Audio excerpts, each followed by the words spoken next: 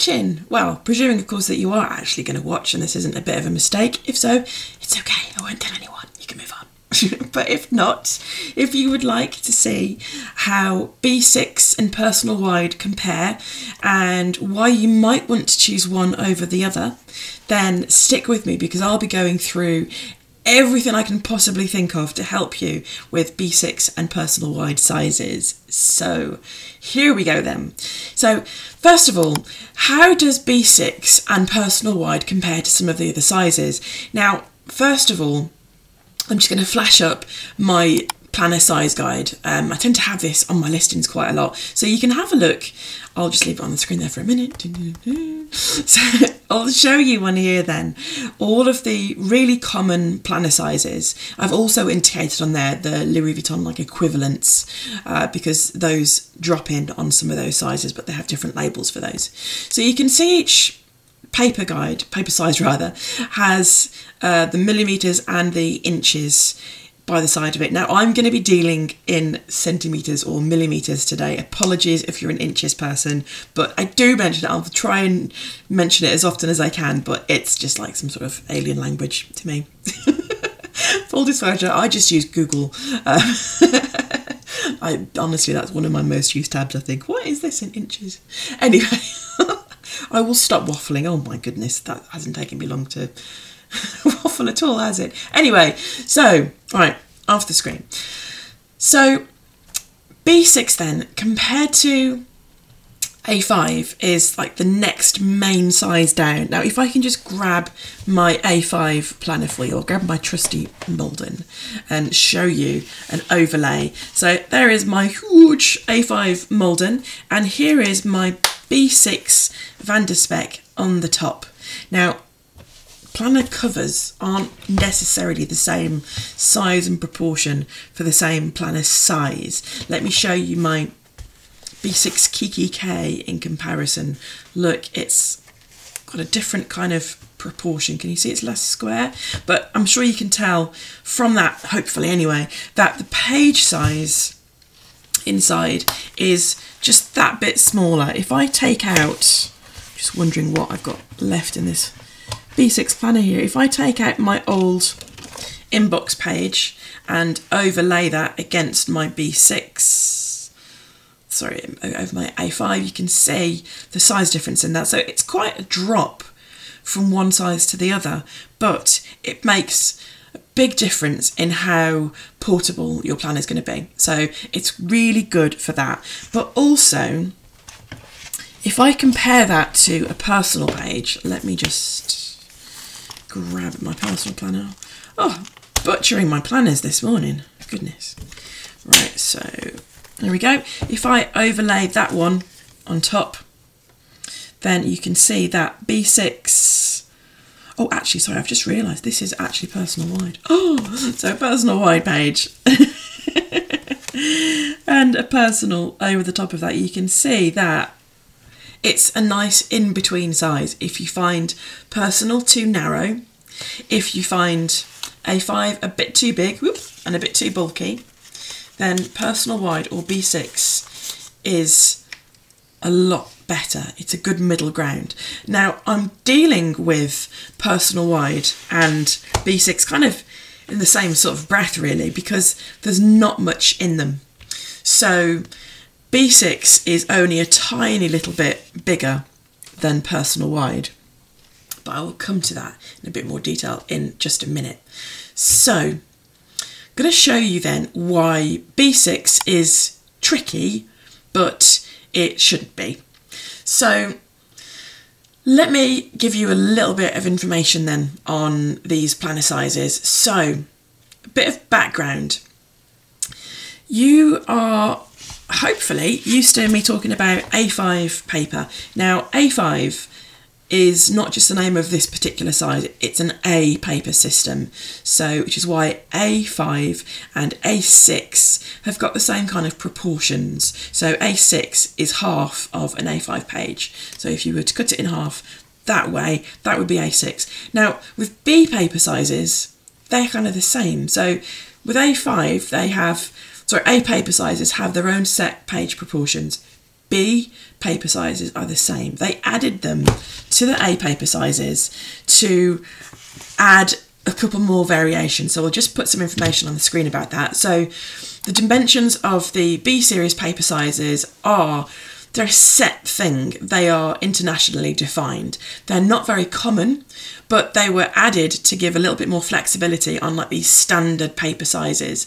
So you tend to find them quite a lot in books and things like that. So um, it's really common to get like a B6 notebook to write in, for example. So B6 for that reason tends to be quite popular. However, let's go to the proportions for a minute. So if I show you the original B0 paper, so B0 paper is one metre across. And if you fold it in half, you get B1, fold that in half, you get B2, fold that in half, you get B3, so on and so forth, until you go right down to B6. So it's got a fixed size. So true B6 should be 12.5 by 17.6 centimetres. So, going to move on now to different brand interpretations of B6. Now, this is where it gets a bit tricky. So, you are probably familiar with a range of different uh, planner shops. If, for example, you are a bit of a cloth and paper fan, uh, tends to be, I think, in the US quite a lot because it's easier to get hold of over there than it is over here. Now, cloth and paper have a nice rounded off size that they call B6.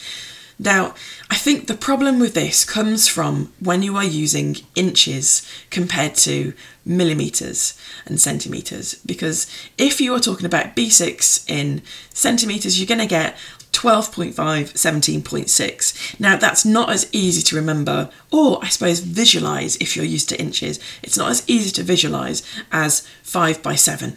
So if you're used to using inches, you can probably imagine quite easily what 5 by 7 is, whereas if someone said it was 12.5 by 17.6 centimetres, you might not be quite so familiar about that. So they've rounded it to the nearest inch, which is great, but it does give a very, very slightly smaller page. Now you can see on the graphic there that I've got true B6 in the black box and the dotted line where you get the cloth and paper measurements by the side of that. There's not much in it to be fair. You can probably mix that and true B6 without seeing a massive difference. It might get in the way of your dividers a little bit if you've got true B6 dividers, but only a little bit. And the nice thing with rings is that they're quite forgiving. So you've got the little bit of, well, literal wiggle room on the rings there.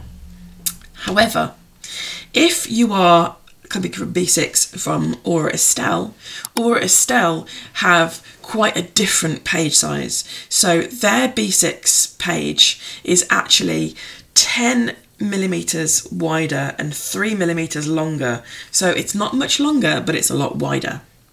Now, the problem that you're going to have with that is if you've got side tabs on your page, then they are going to be completely hidden if you've got true B6 dividers compared to maybe inserts from Aura Estelle.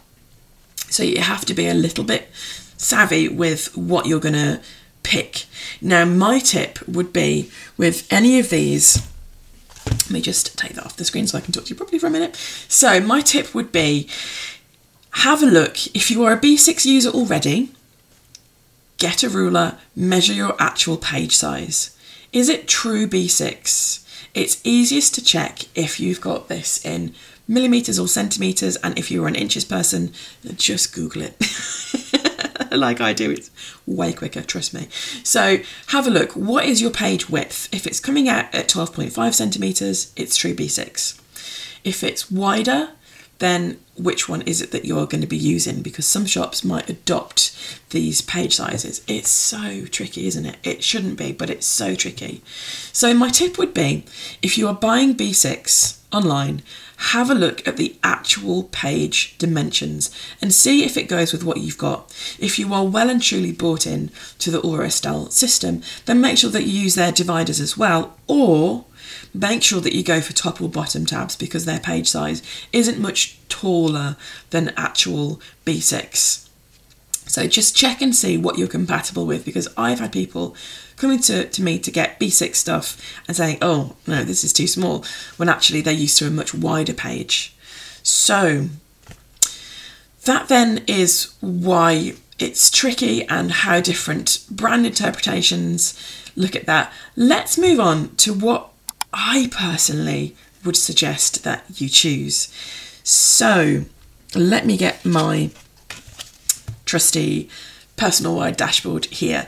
Now, personal wide and B6 are really, really close in size. There's not much to it. Let me just pause and grab a quick comparison for you. Okay, I'm back. I've just literally just grabbed these out of my drawer and punched them. so here is a B6 and a personal wide. And let me just turn this one over so you can see the size difference between them. Right, can you see that? There's not much in it. There's really, really not much in it at all. So personal wide is five millimeters narrower than B6 and it's five millimeters shorter than personal wide. So if you are shopping around for covers and you see a cover in one brand but they only make B6, a cover in another brand and they only make personal wide, which happens by the way. So uh, I think a really common one for B6 that I have bought in the past would be uh, Kikki K, some of those older ones, but if you are a bit of a Moterm fan, then they do personal wide rather than B6 for their ring covers. So if you are stuck, then the cover itself doesn't really matter and I'll show you why. So this is the punching for B6 and if I overlay that over the top you can see that when they are sitting on the holes then there is not much difference and the difference that you get is mostly at the side and it's only five millimeters so if you were to go for one over the other then personal wide would be a much much smarter choice because if you stick to that there's no variation between the sizes. You're always going to get that size. You won't get different brand interpretations, or you shouldn't. Feel free to comment if you've spotted that there are somewhere. Oh, there shouldn't be. So the hole spacing is the same. And do you know what? You can have one of these in a B6 cover and you'll have plenty of room. So if I just grab my old this is a B6 cover. This is my Van der Spek B6. So if I was to put B6 in here, then you can see the fit of that. It is actually quite snug top and bottom considering this is a B6 cover because the Van der Spek B6s are quite squat. They've got like quite a square cover proportion. But if I show you how the B6, sorry, the, the personal wide fits in here instead, then personal wide inside a B6 cover fits really nicely and you've got a little bit more room at the top for your top tabs if you want any as well. And for the side it just means you've got a little bit more room for your pen or your side tabs. So that's really convenient I reckon. So because you've got this extra size here if you wanted to then you could always use some let me just this is going to look a little bit crazy. I'm not suggesting you actually do this, but you might like to have some of your inserts, your personal size too, if you like a layering look. If you've got, for example, some vellum or a dashboard behind it, you might want to have a personal size page over the top so you've got a little bit of decoration to the side. If you've got a personal size insert here with a personal wide size insert behind it. You could have like a Dutch door kind of thing. You might want to have something peeping out, especially if you were to write it like across the page like that. There's all sorts of different options because the page heights are the same and the punching obviously is the same. So I would recommend that you go for personal size inserts and I would also recommend that if you have a choice, which of course you don't always, that you go for a B6 cover because it's a little bit more roomy because some of these come out a little bit snug. So let me just show you some of these cover differences. So I was doing some Googling last night and I was doing some measuring. So these planner covers tend to be quite different. So this is my B6, I wonder the best way to show you this. So this is my B6 and how it varies. Can you see, if I have got those stacked up on the table, how much difference there is in the top of those? So the bottoms are flush. Whoop, there we go. Bang them on the table. They're flush.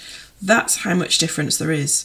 So you can see what we're used to dealing with here. And the sizes look from the side, if I can get those lined up as close as I can, more or less the same, but it's a different proportion. So just check and see what kind of cover you're after. If you are thinking about starting down this personal wide or B6 route, make sure the cover gives you enough room and make sure that if you're coming at this fresh, that you think about which actual paper size that you want to start off with. Right. Oh, I managed it in one go goodness, you should see the page of notes I've got in front of me to remind me of all these figures. I really hope that was useful. I've just realised I haven't had any of my coffee. Never mind. I hope that was useful for you and it's given you some idea about what you're doing if you're going to be shopping for B6 or if you're hoping to switch from one to the other. Okay, right, join me again next week. There will be more. I'm planning it already. There will be more, I promise. Watch this space. Thank you. I'll see you again soon. Bye bye.